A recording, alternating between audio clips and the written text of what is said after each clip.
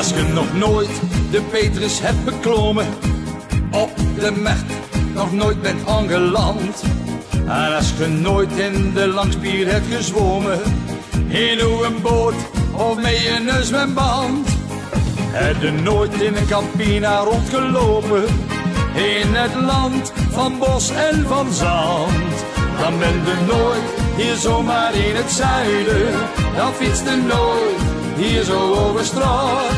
Dan loopt er nooit door ons mooie centrum, dan weet er niet waar de dommel in gaat.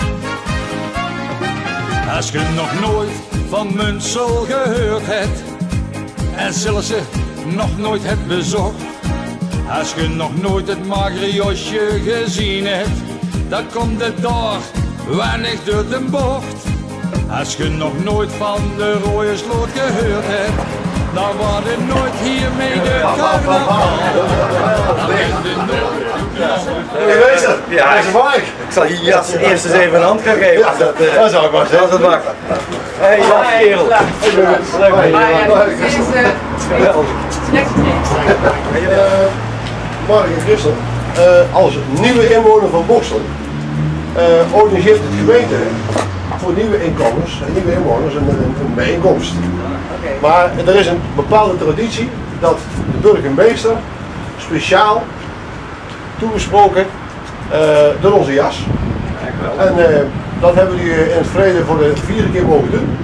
Dus we waren buitengewoon blij en trots dat jullie eh, vanuit eh Herfhuizen hier zijn komen wonen.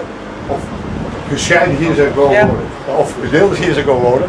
Maar in ieder geval geregistreerd boksenaar. Ja, zeker. En eh, wij als uh, boksen vooruit, maar Jas in het bijzonder, is daar natuurlijk buitengewoon trots op.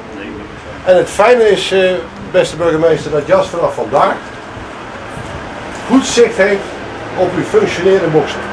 U had af en toe nog een ontzettend uh, hele prettige tijd in boksen doen. Wees vooral heel gelukkig bent. En, en ben een hele goede vriend met je hele goede Christel, je ook heel veel. Dank u wel. Dank u wel. Uiteraard hoort er een kleine attentie bij, want dat hoort als we hier uh, op bezoek gaan komen. Ja.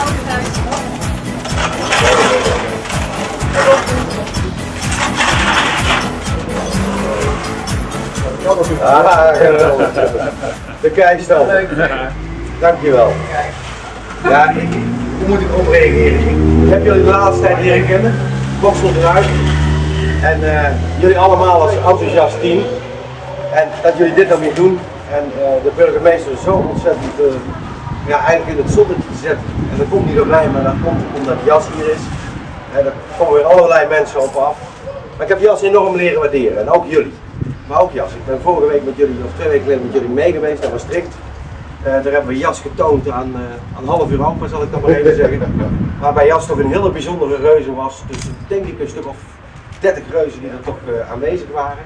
En wat ik bijzonder vond ook aan Jas, was Jas de enige reus was die zo'n beetje zelf liep. Ja. En nou, dat vind ik knap van Jas. En ik vind het mooi dat het zo kan zijn en dat Jas in ere blijft. Want dat hebben we van het jaar natuurlijk wel gedaan. Uh, en vooral jullie is dat te danken dat Jas uh, immaterieel cultureel erfgoed is geworden. En dat is niet niks. Het was de enige reus in Maastricht die dat was. En Maastricht heeft een prachtige reus, gigantisch, een hele grote reus. Maar hij is niet zo bijzonder als de onze. Omdat de onze nou eenmaal in de boeken vermeld wordt. En wat dat betreft een, heel bijzondere jongen is. Dan ben je nooit als bokster geboren. Dan ken je ook heel Lennis.